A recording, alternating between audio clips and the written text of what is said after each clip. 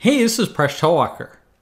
A safe has a code lock that unlocks if you input the correct four digits in any order. The lock has a keypad with the digits going from 0 to 9.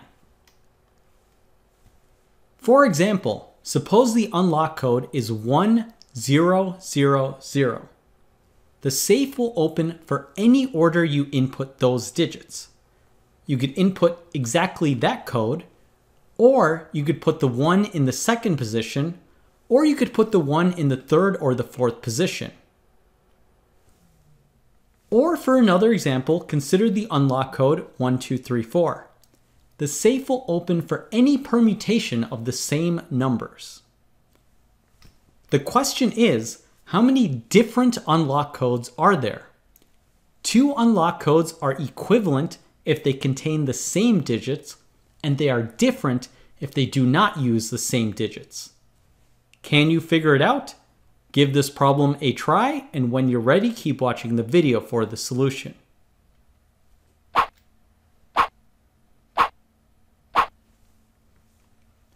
In an ordered code lock, there are 10 possible choices for each of the four spots in the code, making for a total of 10 to the power of 4 or 10,000 possible codes.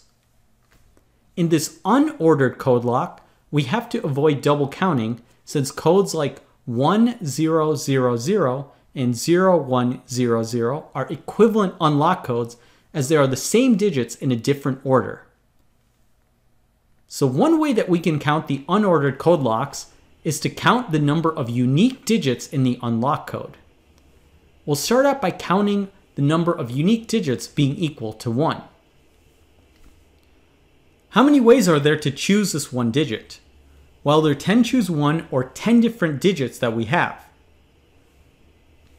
Once we choose that one digit, there's only one possible unlock code, which is using that same number four times.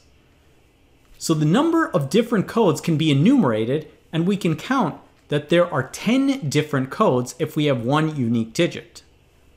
But what if we have two unique digits? The first thing is we need to count how many ways there are to choose these two digits. There will be 10 choose 2, which equals 45 different ways. But even after we select the two digits, we can have more than one pattern. We can have one of the digits being repeated three times, or we can have the other digit being repeated three times, or we can have both digits being repeated two times. Suppose the digits are 0 and 1, we can have the 0 repeated three times, we can have the 1 repeated three times, or we can have both digits being equal to two times. So there are three possible patterns once we select the two unique digits. So we take the 45 and multiply by 3 to get that there are 135 different codes if we have two unique digits in the unlock code. But we could also have three unique digits in the unlock code. Now there will be 10 choose 3 ways to choose these three digits. We also have to consider the possible patterns. There will actually be three because each of the digits could be repeated in the pattern. If we had the digits 0, 1, and 2, we could have the digit 0 repeated, we could have the digit 1 repeated, or we could have the digit 2 repeated. So we take 120 multiplied by the three possible patterns to get to 360. Finally, we could have four unique digits. There will be 10 choose 4, which equals 210 ways to choose the digits. Once we choose them, there's only one possible pattern because we have to use each digit exactly once. So there will be 210 possible different codes if we have four unique digits. So we can now get the total number of different codes by adding up these different possibilities. This gets to our answer of 715. There are a couple of observations to make here. First of all, this is tremendously smaller than the 10,000 codes when we had ordered codes. And second, this method does get to the correct answer, but it involves many different steps. And if you, for example, just forget one of the possible patterns, you're going to get the wrong answer because you're not going to multiply correctly and then you're not going to add up the correct numbers and it'll get to the wrong answer. So while this method does work, it is prone to miscalculation and there are many steps where you can make an error. So you might ask, is there another way that we could get to the answer more directly with fewer computations? The answer is yes. There is an elegant combinatorial method where you count the number of non-negative integer solutions to an equation. So we'll set this up by writing x sub i to be the number of times digit i appears in the unlock code. We are going to convert this problem into an algebra problem. We need each x sub i to be a non-negative number between 0 and 4 because we could use each digit between 0 and 4 times in an unlock code. Furthermore, an unlock code uses 4 digits, so we need the sum of all the x sub i's to be equal to 4. This means we have the equation x sub 0 to x sub 9 being equal to 4. This will be true for any valid unlock code. And in order to get a valid unlock code, the number of unlock codes translates to the problem of how many non-negative integer solutions are there to this equation. So it seems like we haven't really made progress on this problem. We've taken this unlock code problem and converted it to an algebra problem, which seems like it's going to be much more difficult to solve. I mean, how do we take into account when one digit goes up, we need to make sure another digit doesn't exceed 4. So amazingly, there is a clever way to count the number of non-negative integer solutions, and it is a general method that we can use for many problems like this. So the trick is to view the problem in terms of stars and bars.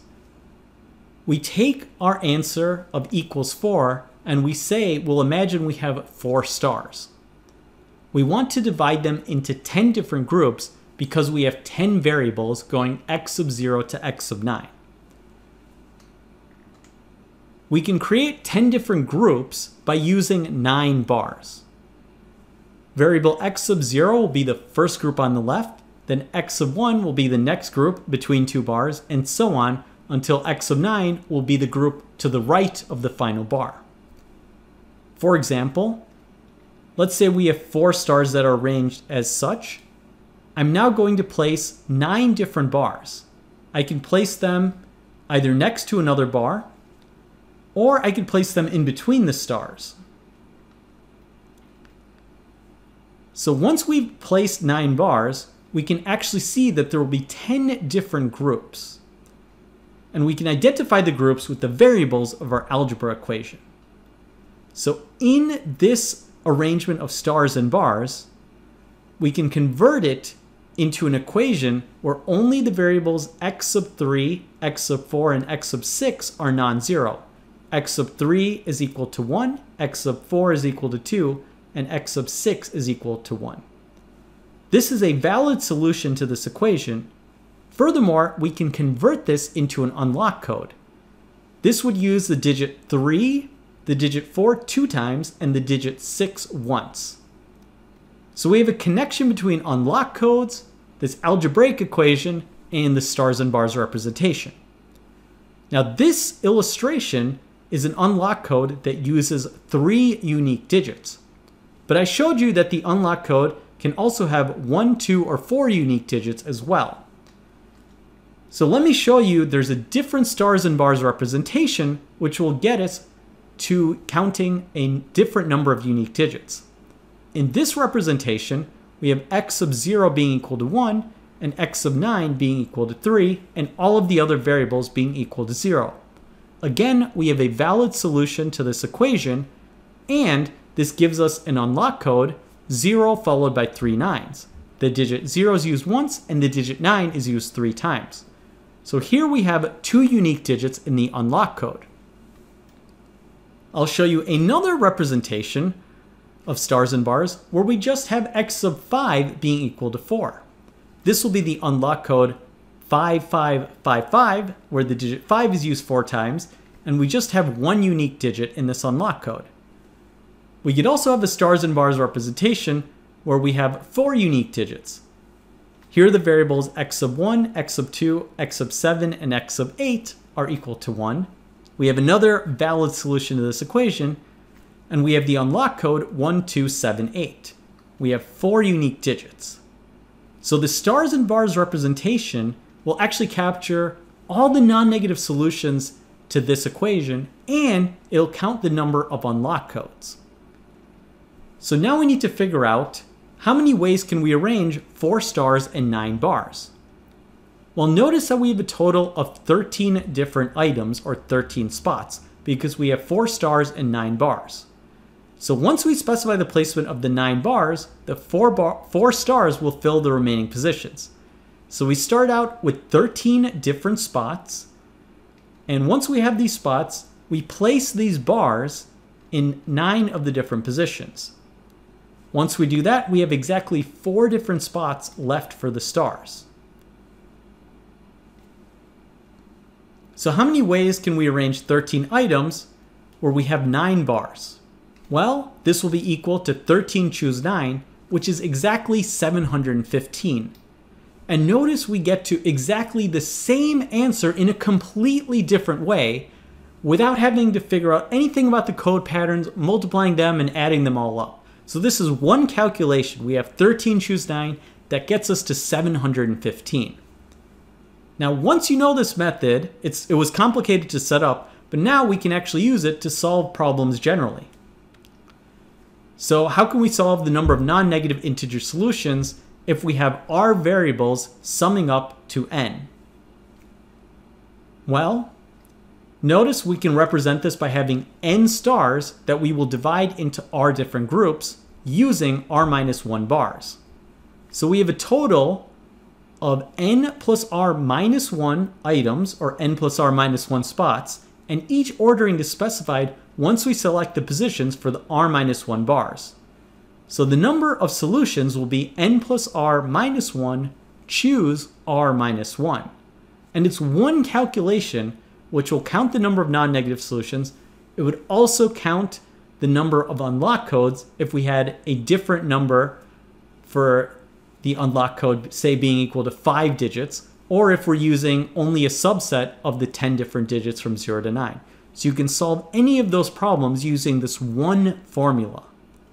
Did you figure it out? And which method did you use? Thanks for watching this video. Please subscribe to my channel. I make videos on math and game theory. You can catch me on my blog, Mind Your Decisions, which you can follow on Facebook, Google+, and Patreon. You can catch me on social media at Presh And if you like this video, please check out my books. There are links in the video description.